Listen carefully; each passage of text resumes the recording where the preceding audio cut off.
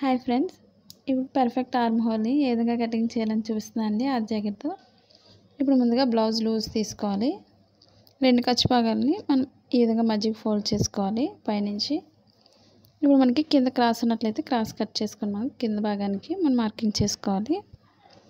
Blouse loose కోసం. ఇప్పుడు ఈ విధంగా లూజ్ తీసుకోవాలి. మనకి వెనక భాగానికి డాట్స్ కోసం ఒక వన్ ఇంచ్ తీసుకోవాలి. ఖర్చు భాగానికి దీనికి ఖర్చు లేదు కాబట్టి నేను పైనుంచి మార్క్ చేస్తున్నాను. ఖర్చు భాగానికి మనకి ఒక టూ ఇంచెస్కి అంటే త్రీ ఇంచెస్కి మనం మార్క్ చేసుకోవాల్సి ఉంటుంది ఈ విధంగా. ఇప్పుడు కరెక్ట్గా ఈ మార్కింగ్ దగ్గర నుంచి డీప్ ఎంత అవుతుందో కరెక్ట్గా మనకు పొడవు ఎంత అవుతుందో అక్కడికి ఒక మార్క్ చేస్తున్నాను. పావు ఇంచ్ ఎక్స్ట్రా పైకి తీసుకోవాలి ఈ విధంగా ఖర్చు భాగం కోసం. మనం డీప్ దగ్గర పట్టుకొని మనం షోల్డర్ దగ్గర కరెక్ట్గా లూజ్ ఎంత అవుతుందో కరెక్ట్గా అంతవరకే మనం మెడ భాగానికి లూజ్ కోసం మనం మార్క్ చేసుకోవాలి. స్టిచ్చింగ్ పాయింట్ కోసం ఒక మార్కింగ్ ఖర్చు భాగానికి పాయింట్స్ ఎక్స్ట్రా తీసుకోవాలి విధంగా. ఇప్పుడు మనకి షోల్డర్ దగ్గర బ్లౌజ్ పొడవుని బట్టి మార్కింగ్ స్టిచ్చింగ్ పాయింట్ దగ్గరకు ఒక మార్క్ చేస్తున్నాను. ఖర్చు భాగానికి పైకి పాయింట్స్ ఎక్స్ట్రా తీసుకోవాలి. మనకి ఖర్చు భాగం ఎక్కువ పెట్టుకున్న వాళ్ళు ఒక హాఫ్ ఇంచ్ ఉంటే సరిపోతుంది లేదా పాయింట్స్ ఎక్స్ట్రా ఉంటే సరిపోతుంది ఇప్పుడు మనకి షోల్డర్ దగ్గర లూజు స్టిచ్చింగ్ పాయింట్ దగ్గరకు ఒక మార్కింగ్ ఖర్చు భాగానికి బయటకు తీసుకోవాలి విధంగా. ఇప్పుడు మనకి చంకబా దగ్గర లూజ్ తీసుకోవాలి. మనకి కరెక్ట్గా కింద బార్డర్ దగ్గర కరెక్ట్గా ఉందో లేదో చూసుకొని మనం టూ ఇంచెస్కి మనం మార్క్ చేసుకోవాలి. కింద ఖర్చు భాగానికి టూ ఇంచెస్ ఏ విధంగా పెంచుకున్నామో. పైన కూడా టూ ఇంచెస్కి మనం మార్క్ చేసుకోవాల్సి ఉంటుంది.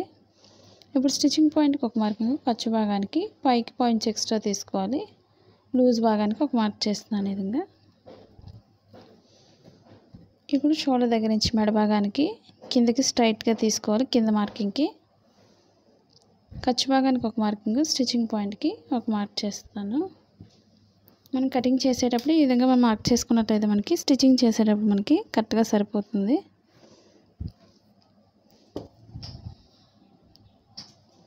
ఇప్పుడు షోల్డర్ నుంచి స్ట్రైట్గా కిందకి మార్క్ చేసుకోవాలి చంక భాగం కోసం.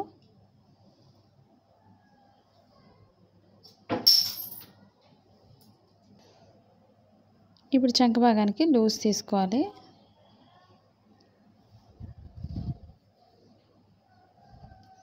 ఇప్పుడు మనకి బ్లౌజ్ లూజ్ ఎంత అవుతుందో లూజ్ భాగానికి ఒక మార్క్ చేసుకోవాలి. ఇప్పుడు స్టిచ్చింగ్ పాయింట్ కోసం మనం ఒక టూ ఇంచెస్ ఉంటే సరిపోతుంది. ఇప్పుడు చంక భాగం దగ్గర ఒక టూ వన్ అండ్ హాఫ్ వరకు ఈ విధంగా మనం పైకి మార్కింగ్ చేసుకోవాలి. ఇప్పుడు పైనుంచి స్ట్రైట్ తీసుకొని కార్నర్కి వచ్చేసరికి మనం రౌండ్ చేసుకోవాలి ఈ విధంగా. మరి ఎక్కువ లోతు తీసుకున్నట్లయితే మనకి చంక భాగం అనేది బాగా లోతు వచ్చేస్తుంది కాబట్టి చిన్నగా ఈ విధంగా చూసుకొని మనం మార్కింగ్ చేసుకోవాలి. మన బ్యాక్ పార్ట్తో ఒకసారి చంక భాగానికి లూజ్ చూసుకోవచ్చు. స్టిచ్చింగ్ పాయింట్ దగ్గర నుంచి ఈ విధంగా చూసుకోవాలి. మనకు ఒక టూ ఇంచెస్ ఖర్చు భాగానికి ఈ విధంగా చూసుకొని మనం మార్కింగ్ చేసుకోవాలి. ఇప్పుడు మెడ భాగం కోసం ఈ విధంగా ఈ కార్నర్లో ఒక వన్ ఇంచ్ ఉండే విధంగా మనం మనం మార్క్ చేసుకోవాలి. ఇప్పుడు పైనుంచి స్ట్రైట్ తీసుకొని కార్నర్ మనం ఈ విధంగా రౌండ్ చేసుకున్నట్లయితే మనకి కరెక్ట్గా అనేది రౌండ్ అనేది వస్తుంది బాగా. ఇప్పుడు మనం పైనుంచి కట్ చేసుకోవచ్చు.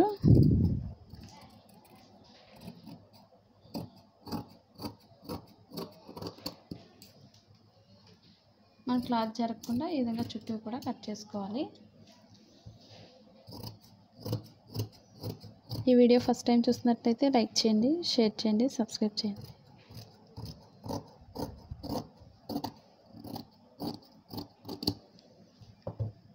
ఇప్పుడు మనం కింద భాగాన్ని నడుము భాగం దగ్గర ఈ మార్కింగ్ చేసిన దగ్గర కొంచెం కట్ చేసుకోవాలి. మన బెల్ట్ భాగానికి వేరే క్లాత్ని అటాచ్ చేసుకోవాలి. మన బెల్ట్ భాగం వేసుకోవడం వల్ల మనకి స్టిఫ్గా ఉంటుంది నడుం భాగం పైకి ఎత్తకుండా దానికోసం మనకి బ్లౌజ్ ఎంత అయితే పొడవు ఉందో అంతే మార్కింగ్ చేస్తున్నాను. ఇప్పుడు మనకి డాట్స్ చూపిస్తుందండి షోల్డర్ మిడిల్ నుంచి ఈ విధంగా కిందకి కరెక్ట్గా మిడిల్ పాయింట్కి వస్తుంది. ఇప్పుడు ఈ మిడిల్ పాయింట్లో మనం మనం మార్కింగ్ చేసుకోవాలి. డాట్స్ పొడవు ఎంత ఉన్నాయో చూసుకొని మనం మార్కింగ్ చేసుకోవచ్చు. మనకి మిడిల్ పాయింట్ నుంచి ఈ విధంగా పొడవు చూసుకొని మనం మార్కింగ్ చేసుకోవాలి ఈ విధంగా.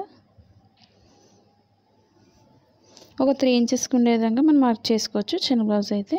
లేదా ఫోర్ ఇంచెస్ పెట్టుకోవచ్చు. ఇప్పుడు ఇదే నడుము భాగాన్ని మనం పైకి ఒక వన్ ఇంచ్ లేదా ఒక వన్ అండ్ హాఫ్ వరకు మనం పైకి ఫోల్డ్ చేసుకోవాలి. ఇప్పుడు ఫ్రంట్ పార్ట్కి ఎప్పుడు కూడా మనం చంక భాగం దగ్గరే తీసుకోవాలి. ఈ విధంగా క్రాస్గా మనం మార్క్ చేసుకోవడానికి ఈ విధంగా క్రాస్గా వేసుకోవాలి.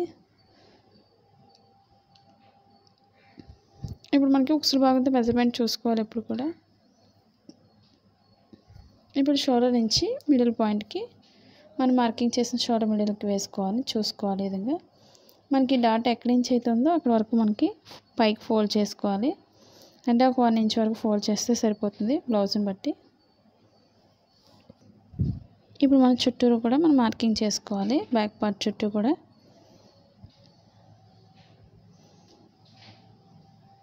మనకి నాలుగు పొరలు కూడా సమానంగా ఉండే విధంగా చూసుకొని మనం ఈ విధంగా వేసుకోవాలి. మన ఓపెన్ సైడ్ ఎప్పుడు కూడా పైకే మార్కింగ్ ఉంటుంది.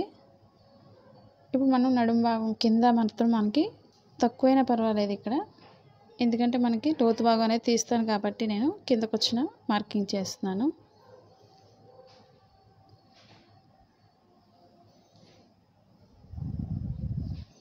ఇప్పుడు స్టిచ్చింగ్ పాయింట్ దగ్గరికి ఒక మార్క్ చేస్తున్నాను లూజ్ని బట్టి. మనకి చంక భాగం దగ్గర లోతు భాగం తీసే దగ్గర ఒక మార్క్ చేసుకోవాలి. ఇప్పుడు షోల్డర్ దగ్గర మెడ భాగం దగ్గర కూడా స్టిచ్చింగ్ పాయింట్ దగ్గరకు ఒక మార్క్ చేసుకోవాలి. ఇప్పుడు మనకి ఉక్సుల భాగంతో మెజర్మెంట్ చూసుకోవాలి ఒకసారి. మనకి తాలు భాగం ఎప్పుడు కూడా ఎక్స్ట్రా భాగం అవుతుంది కాబట్టి తాలు భాగంతో మనం తీసుకోకూడదు. ఇప్పుడు స్టిచ్చింగ్ పాయింట్ దగ్గర నుంచి ఈ విధంగా మెడ భాగానికి వేసుకోవాలి. కొంచెం పైకి మార్క్ చేస్తున్నాను. ఈ విధంగా స్క్వేర్లో మార్క్ చేసుకోవాలి. ఇప్పుడు స్టిచ్చింగ్ పాయింట్ నుంచి మనం లోతు భాగం లోపలికి తీసుకుంటూ రౌండ్ చేసుకోవాలి ఈ విధంగా. మనకు సరిపోతుందో లేదో ఒకసారి చూసుకోవాలి. మనకు కొంచెం ఎక్స్ట్రా మిగిలినట్లయితే కొంచెం కిందకి స్టిచ్చింగ్ పాయింట్ కోసం మనం మార్క్ చేసుకోవాలి. ఇప్పుడు స్టిచ్చింగ్ పాయింట్ దగ్గర నుంచి మధ్యలో డాట్ కోసం కింద ఖర్చు భాగం కోసం మనం ఒక వన్ ఇంచ్ ఎక్స్ట్రా కిందకి తీసుకోవాలి ఇక్కడ వరకు. ఇప్పుడు షోలో మిడిల్ నుంచి కింద డాట్కి మనం మార్కింగ్ చేసిన షోల్డర్ మిడిల్కి వేసుకొని చూసుకోవాలి విధంగా అంటే మనకి డాట్ ఎక్కడైతే ఉందో అక్కడికి మధ్య భాగానికి మనం లోతు భాగం కోసం మనం మార్క్ చేసుకోవాలి. ఈ విధంగా లోతు భాగం కోసం కింద భాగానికి మనం మార్క్ చేసుకోవాలి. ఇప్పుడు నడుం భాగానికి వచ్చేసరికి కొంచెం లోతు భాగాన్ని పైకి మార్క్ చేసుకోవాలి. మనకి సన్నగా ఉండేవాళ్ళు కూడా ఎప్పుడు కూడా మనకి ఫ్రంట్ పార్ట్కి ఫోర్త్ డాట్ వేసుకున్నట్లయితే మనకి కరెక్ట్గా స్టిఫ్గా వస్తుంది ఫ్రంట్ పార్ట్ అనేది. డాట్ వేరే మాత్రం పైనుంచే లోతు భాగం తీసుకొని కట్ చేసుకోవాల్సి ఉంటుంది. ఇప్పుడు మనకి స్టిచ్చింగ్ పాయింట్ దగ్గరికి ఒక మార్క్ చేసుకోవాలి.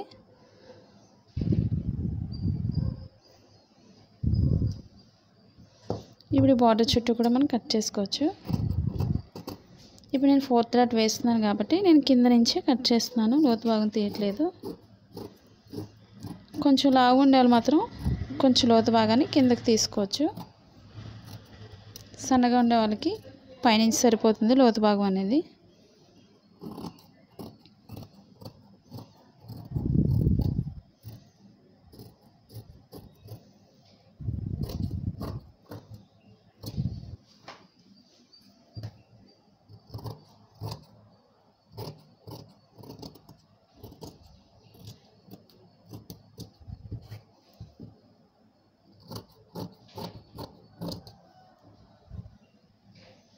ఇప్పుడు ఎక్స్ట్రా భాగాన్ని కట్ చేసేస్తున్నాను.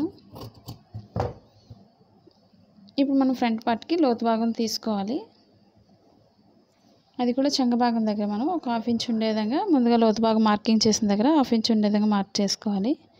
ఇప్పుడు స్టిచ్చింగ్ పాయింట్ నుంచి మనం సన్నగా లోతు భాగం తీసుకోవాలి.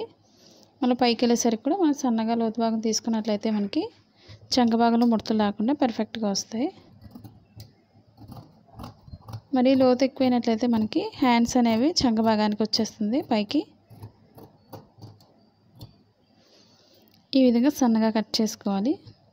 మన స్టిచ్చింగ్ పాయింట్లో కొంచెం కట్ చేసుకోవాలి ఈ విధంగా. ఇప్పుడు మనం షేప్ పట్టి తీసుకోవాలి. అది కూడా ఒకసారి భాగంతోనే మెజర్మెంట్ తీసుకోవాల్సి ఉంటుంది. మనకి క్లాత్ తక్కువైనట్లయితే మనకి ఒక్కొక్కటి చొప్పున రెండు తీసుకొని వెనక భాగానికి వేరే కలర్ మనం అటాచ్ చేసుకోవచ్చు. ఇప్పుడు ఓపెన్ సైడ్ కింద భాగానికి కూడా మనం ఖర్చు భాగానికి ఒక పాయింట్స్ ఎక్స్ట్రా వదిలే మనం మార్కింగ్ చేసుకోవాలి. స్టిచ్చింగ్ పాయింట్ దగ్గరకు ఒక మార్కింగ్ ఖర్చు భాగానికి పైకి పాయింట్స్ ఎక్స్ట్రా తీస్తున్నాను. మనకి ఓపెన్ సైడ్ ఎప్పుడు కూడా త్రీ అండ్ హాఫ్ పొడవు తీసుకోవాలి. నడుం భాగానికి టూ అండ్ హాఫ్ ఇంచెస్ తీసుకోవాలి. లేదా మనం బ్లౌజ్ చిన్నదైనట్లయితే మన బ్లౌజ్ ఆది బ్లౌజ్తో సరిపోతుంది. రెండు ఈక్వల్గా అయితే ఉండవు. చూసుకొని మనం మార్కింగ్ చేసుకోవాలి. ఇప్పుడు నేను ఖర్చు భాగానికి టూ ఇంచెస్కి ఎక్స్ట్రా మార్కింగ్ చేస్తున్నాను ఇప్పుడు. పైన మార్కింగ్ చేసినట్లుగా. ఇప్పుడు స్టిచ్చింగ్ పాయింట్ దగ్గరకు ఒక మార్కింగ్ ఖర్చు భాగానికి పైకి పాయింట్స్ ఎక్స్ట్రా తీస్తున్నాను. ఇప్పుడు పైనుంచి లోతు భాగం తీసుకుంటూ మనకి నడుము భాగానికి కలుపుకోవాలి.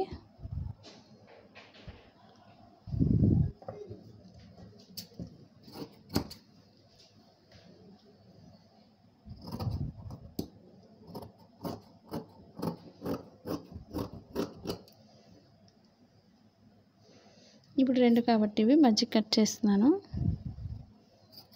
రెండు వైపులా రెండు తీసుకున్నాను. మనం ఎక్కువ అయినట్లయితే మనకి మూడు మూడు చొప్పున తీసుకోవచ్చు ఆరు లేదా రెండు రెండు చొప్పున నాలుగు కూడా తీసుకోవచ్చు. మనకు స్టిఫ్గా ఉంటుంది.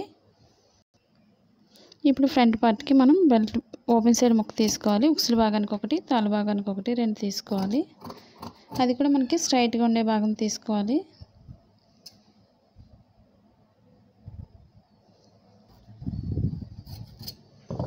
ఈ విధంగా ఓపెన్ సైడ్ రెండు ముక్కలు తీసుకోవాల్సి ఉంటుంది.